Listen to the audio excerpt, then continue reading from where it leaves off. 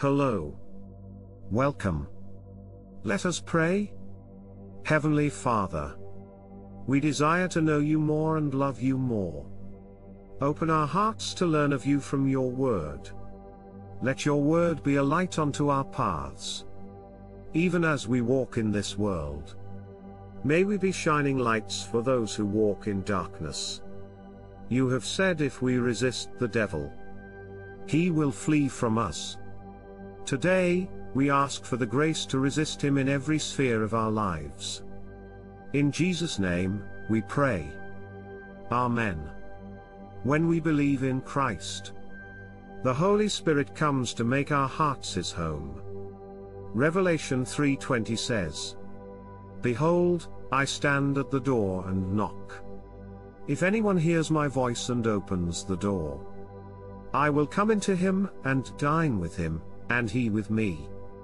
When we come to God, he empowers us to overcome sin and the devil. It is like a force of protection around you. That makes you inaccessible to the enemy. That is why the Apostle John tells us in 1 John 4 4. You are of God, little children, and have overcome them. Because he who is in you is greater than he who is in the world. God builds a hedge around you. So that the enemy cannot touch you. Satan testified that God had built a hedge around Job. Have you not made a hedge around him? around his household, and around all that he has on every side. Satan could not penetrate that hedge. Do you remember Elijah? When his servant saw the armies of the enemy and was afraid, Elijah prayed that his eyes would be opened, so that he would see the chariots of fire around them. Why was that so? Because you have made the Lord, who is my refuge, even the Most High your dwelling place. No evil shall befall you. Nor shall any plague come near your dwelling, Psalm 91 9-10. Paul puts it beautifully in Colossians 3:3. For you died, and your life is hidden with Christ in God. For the devil to touch you, he must go through God. He would first have to overcome the Holy Spirit before he can touch you. And that is not possible. But we often hear of Christians complaining of demonic attacks on themselves, their loved ones, and their homes. How is this so? The devil is always stalking you, poking around your hedge. To steal, to kill, and to destroy you. The devil can only attack the Christian. Who has given the devil a foothold in their lives? How do we give the devil a footing in our lives? When the believer cultivate in themselves any known sin, they are giving the devil a foothold in their lives. Let us read Ephesians 4:25 to 31. Therefore putting away lying, let each one of you speak the truth with his neighbor. For we are members of one another. Be angry, and do not sin. Do not let the sun go down on your wrath.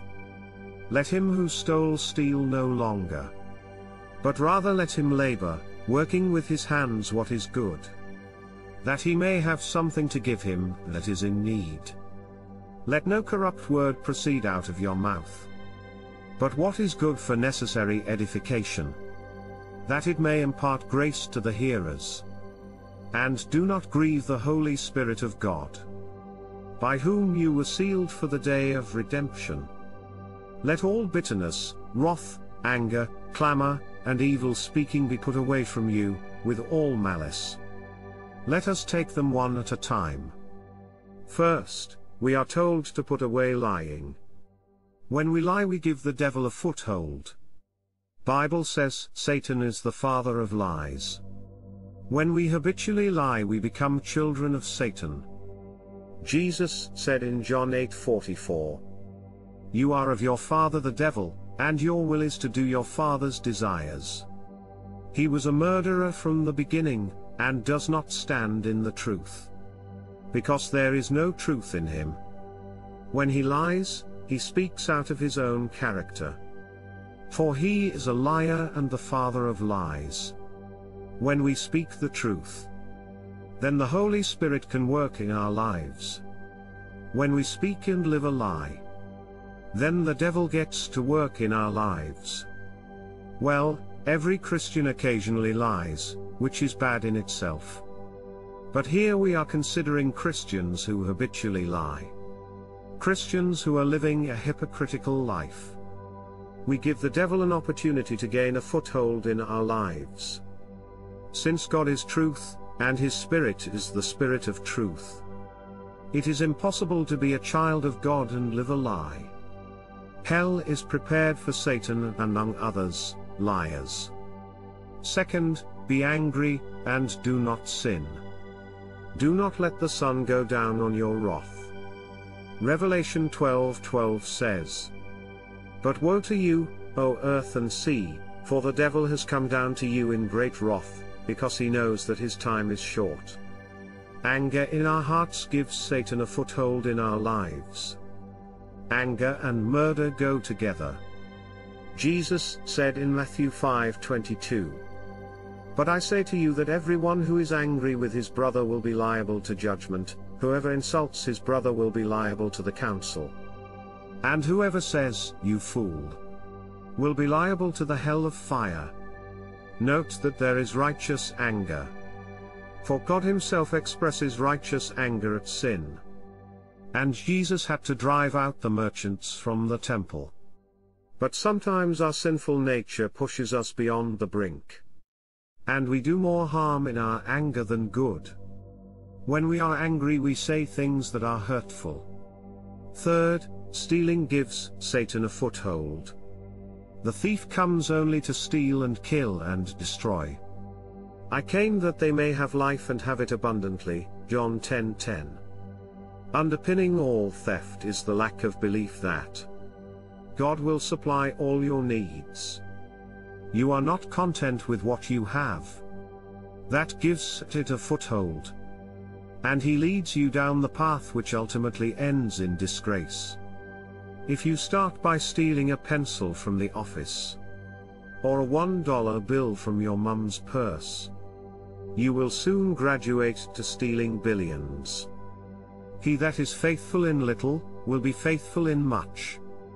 He that is unfaithful in little, will be unfaithful in much. Luke 16:10.